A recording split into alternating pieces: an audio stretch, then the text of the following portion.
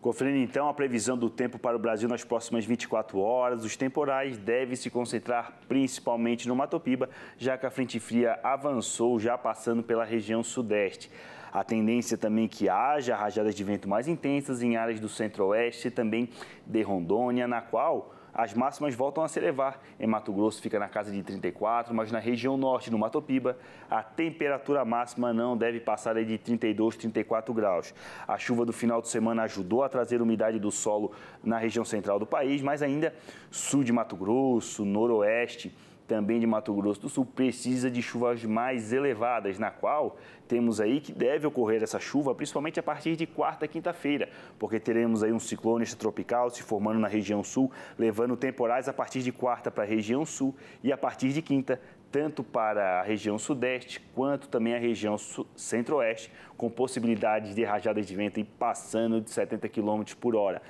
Na próxima semana, de 27 a 31 de outubro, a chuva continua, principalmente em Mato Grosso, Goiás e também em Minas Gerais, com acumulados na casa de 50 milímetros.